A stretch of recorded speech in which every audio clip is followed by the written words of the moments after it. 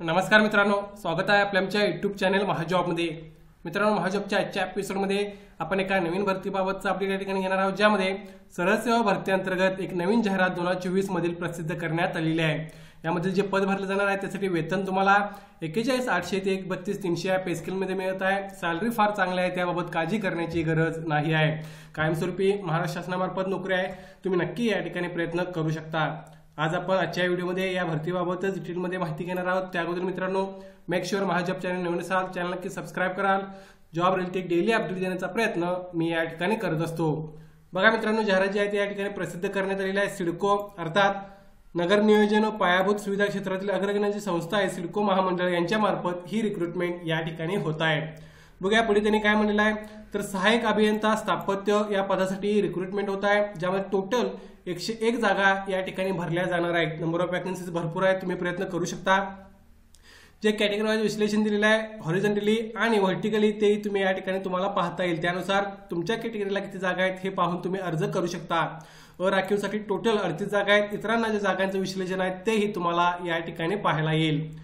पुढे आपण बघूया या ठिकाणी मित्रांनो यासाठी लागणारं क्वालिफिकेशन काय असणार आहे? तर बघा वेतन श्रेणी एस पंधराची तुम्हाला मिळत आहे एक्केचाळीस आठशे ते एक बत्तीस तीनशे चांगला पे स्केल तुम्हाला या ठिकाणी मिळत आहे.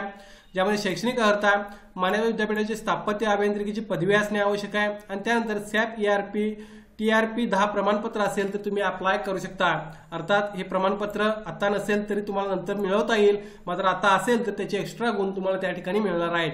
अनुभवाची गरज नाही. विदाऊट एज्युकेशन क्वालिफिकेशन नंतरचा अनुभव तुमचा ग्राह्य धरलेला नाही किंवा त्याची आवश्यकता एक्सपिरियन्सची नाही आहे. फक्त बेसिक क्वालिफिकेशन जर असेल तर तुम्हाला या ठिकाणी अर्ज करता येणार आहे.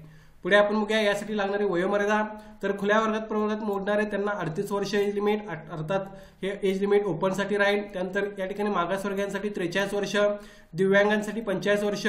त्यानंतर खेळाडू माजी सैनिक यांना त्रेचाळीस वर्ष.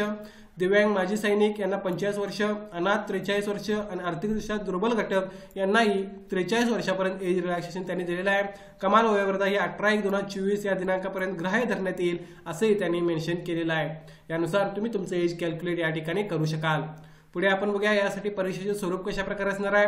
तर वर नमूद पदांसाठी उमेदवारांची निवड करताना दोनशे गुणांची ऑनलाईन एक्झाम आयबीबीएस मार्फत घेतली जाईल. ज्यामध्ये इंग्रजीचे तीस क्वेश्चन एकूण प्रश्न तीस मार्कांसाठी सामान्य ज्ञान तीस प्रश्न तीस मार्कांसाठी आकलन क्षमता तीस प्रश्न तीस मार्कांसाठी आणि व्यावसायिक ज्ञान अर्थात जे सिव्हिल रिलेटेड असतील त्याचे एकशे दहा क्वेश्चन एकशे दहा मार्कांसाठी राहणार आहेत.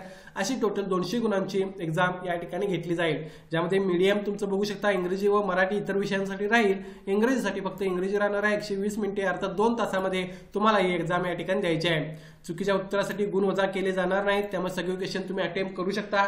लेखी परीक्षेमध्ये किमान नव्वद गुण प्राप्त करणारे उमेदवारच पुढील प्रक्रियेसाठी पात्र राहतील. पुढे जी प्रक्रिया असणार आहे सिलेक्शनची ती कशा प्रकारे बघा. तर गुणवत्ता यादीत येण्याकरता कमीत कमी तुम्हाला पंचेचाळीस टक्के अर्थात नव्वद गुण मिळवणे आवश्यक राहील. त्यानंतर दोनशे गुणांची जी ऑनलाईन परीक्षा असणार आहे त्यामध्ये तुमचे दहा गुण असे एकूण दोनशे दहा गुण तुमचे गृहीत धरले जाणार आहेत. दहा गुण हे सॅप प्रमाणपत्राचे असणार आहेत. जर प्रमाणपत्र नसेल तर तुम्हाला मार्क मिळणार नाही आहे एकाच पदासाठी दोन किंवा अधिक उमेदवारांना समान गुण मिळाल्यास जो नियम आहे त्यानुसार तुमचं सिलेक्शन होईल.